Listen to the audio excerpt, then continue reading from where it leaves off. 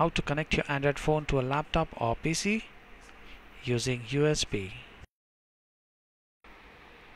You can use your Android phone to connect with a PC or a laptop using the USB cable.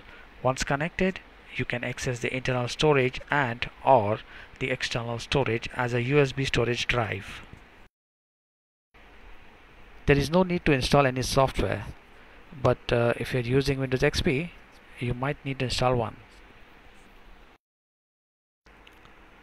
You should have no issues getting it to work with Windows Vista, Windows 7 and Linux.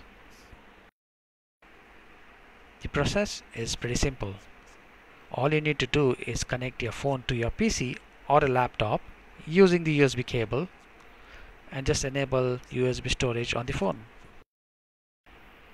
I'm connecting the USB cable to my Linux netbook and the other end to the phone. Once connected you will see the notification USB connected.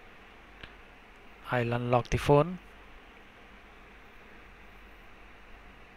And from top drag down you'll see the USB connected option. Tap it. Again tap on USB storage. Again a confirmation to turn on USB storage. Press OK and that's it. The USB storage is now enabled and on my Linux machine I can see the notification that uh, the storage drive is connected. I'm using the 8 GB micro SD card on my Android phone. I'll double tap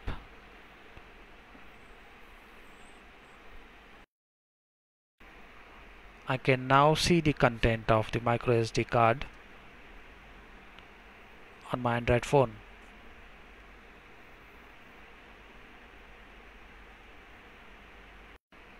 To disable USB storage press the power button and just uh, tap turn off USB storage.